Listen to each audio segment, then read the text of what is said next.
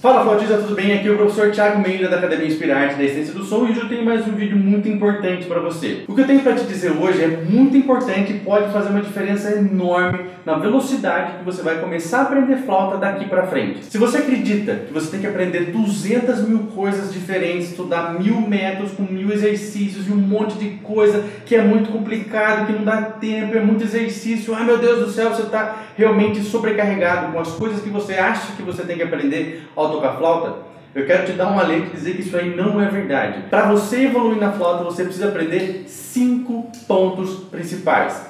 Com esses cinco pontos você vai ser capaz de tocar 99% de tudo aquilo que você precisa. E são esses cinco pontos que te fazem tocar todas as músicas que você quiser, com um som bonito, afinado, de jeito fácil. E principalmente, são esses cinco pontos que vão fazer você evoluir muito mais rápido. Se o seu interesse é evoluir mais rápido, aprender a estudar do jeito certo, para que você possa finalmente tocar com um som bonito, afinado, as músicas que você sempre quis, você precisa prestar muita atenção nesses cinco pontos.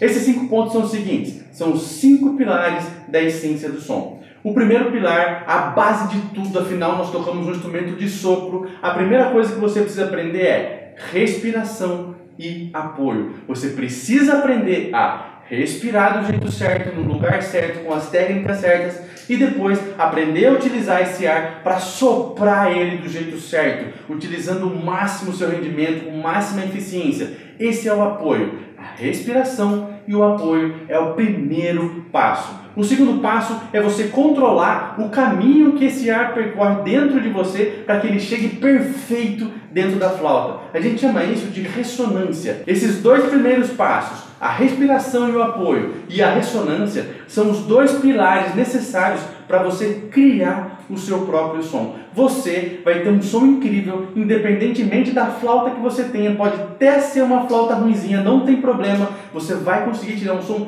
muito melhor dela se você conseguir entender que você precisa respirar do jeito certo, apoiar e ter muita ressonância, ou seja, cuidar do caminho que o ar vai percorrer dentro de você até chegar na flauta. Esses são os dois primeiros pilares da essência do som.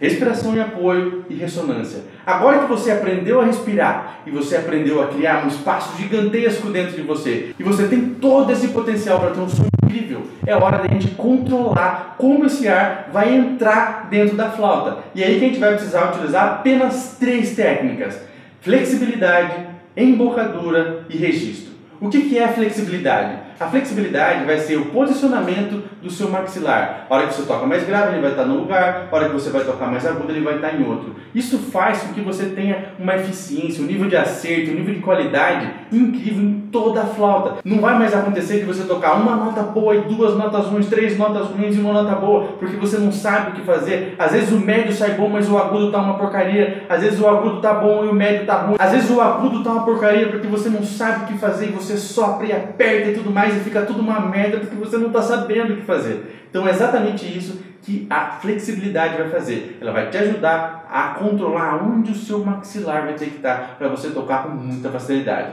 Outra coisa é o quarto pilar, que é a embocadura. Você tem que ter uma embocadura muito boa, porque senão você vai atrapalhar todo esse trabalho que você está fazendo de respiração e apoio, de ressonância, de flexibilidade. Você tem que ter uma embocadura que não te atrapalhe. Para isso você precisa ter os conceitos corretos, para que você tenha o foco aqui e todo o resto relaxado, para que você não estique assim na hora de tocar. Se você acaba fazendo embocadura sorriso, isso está muito errado. Isso vai te atrapalhar e muito na sua evolução. Então aprender a ter uma boa embocadura é muito importante. E o quinto pilar, que vai colocar cereja no bolo em cima de tudo isso, é o registro. O registro é saber o ângulo que você vai ter que soprar dentro da flauta para você ter o melhor resultado possível. Por exemplo, se você soprar as notas graves mais dentro da flauta, como se sua mão estivesse aqui e você estivesse mirando ela aqui dentro, você vai ter um resultado muito melhor, porque você vai estar soprando no lugar certo, no ângulo certo. Agora, se você pegar o agudo e soprar ele mais para frente, utilizando todas as técnicas de flexibilidade e embocadura para corrigir, como se fosse o flap de um avião, para onde o ar vai entrar, você vai ter uma facilidade enorme de tocar todas as notas nas três oitavas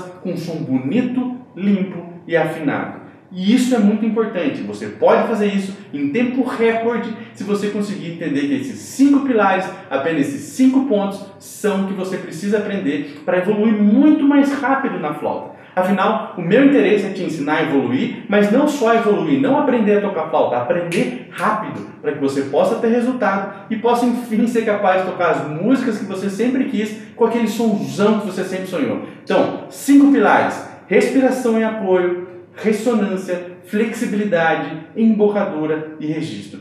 É isso que você tem que aprender. Todo o resto não vai te ensinar 10% do que é necessário para tocar flauta. Esses cinco pilares vão te ensinar 90% de tudo o que você precisa para ter um som incrível e tocar com som limpo, afinado em todas as três oitavas, não importa o nível que você esteja. Se você for iniciante, isso vai ser fundamental. Se você é intermediário, mais fundamental ainda. E se você está tentando chegar no nível avançado, você não vai conseguir se você não estiver dominando esses cinco pilares. Tudo bem? Se você quer saber mais sobre isso, eu preparei uma surpresa para você, que é só você clicar no link que está aqui embaixo. Eu tenho certeza que você vai gostar e muito. Um grande abraço, espero que você tenha gostado dessa aula. Nos vemos no próximo vídeo. Tchau!